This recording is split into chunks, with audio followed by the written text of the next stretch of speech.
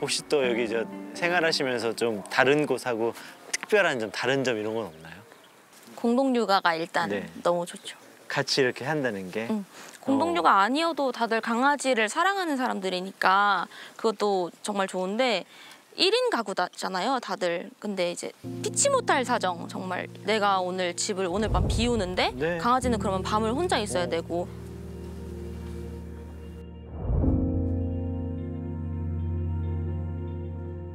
그럴 때 이제 혹시 예, 맡아줄 수 있느냐 그럴 수 있겠다. 그런 식으로 음, 옆에 분한테 한번 좀 봐줘. 네. 아니면 네. 뭐 한번 뭐 물도 한 번만 이렇게 해주던지. 네, 아니면은 그냥 그 집에. 강아지를 맡길 맡길 때도 그럴 많아요. 수 서로 알고 있는 개고 사이만 괜찮다면 얼마든지 가능하겠는데. 네. 그건 너무 좋다. 이게 다른 것보다 사실 시설도 좋아서 좋은데 저는 시선인 것 같아 시선. 그러니까 개를 키울 때 서로 인사하고 당연히 같이 사는 거지라고 네. 여겨지는 이 시선이 네. 그게 장점인 것 같아. 네. 맞아요. 산책하다가 만나도 어 율무 왔어, 그러니까. 어, 추파 왔어, 막 어. 이러고 다 알고 있으니까. 맞아요. 너무 좋아. 그러니까.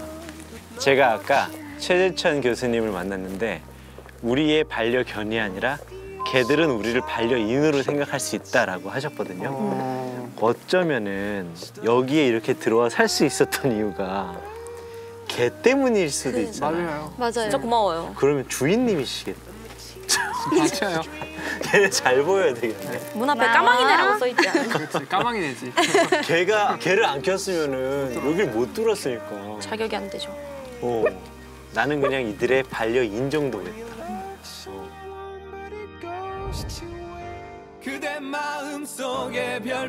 젊은 분들이 모여 산다라고 하는 게 좀 재밌었었고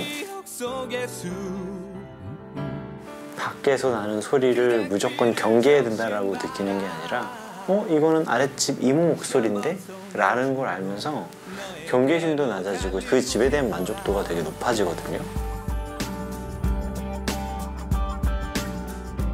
그리고 이게 정말 반려견의 성품에도 영향을 줘요. 근데 이 청년주택이라고 하는 제도 안에서 반려견을 키울 수 있게 도와준다고 와 이건 좀 많이 늘었으면 좋겠어요. 소리 없이 힘이 되어 그 한숨 거둘 수만 있다면 그대 마음속의 햇살 서대문구에 예. 반려견 순찰대라고 있는데 오. 그쪽 거기 한번 만나보시면 되게 좋을 것 같아요. 오. 네. 저 지나가다 봤는데 오. 그빛 반사되는 그 순찰복을 그죠? 입고 어. 계신 거예요. 근데 순간 저도 어 경찰인가 했거든요. 근데 어허. 그런 하다못해 저도 그런 생각했는데 좀 그런 효과도 주고 순찰 있겠다. 돌면서 일 있으면은.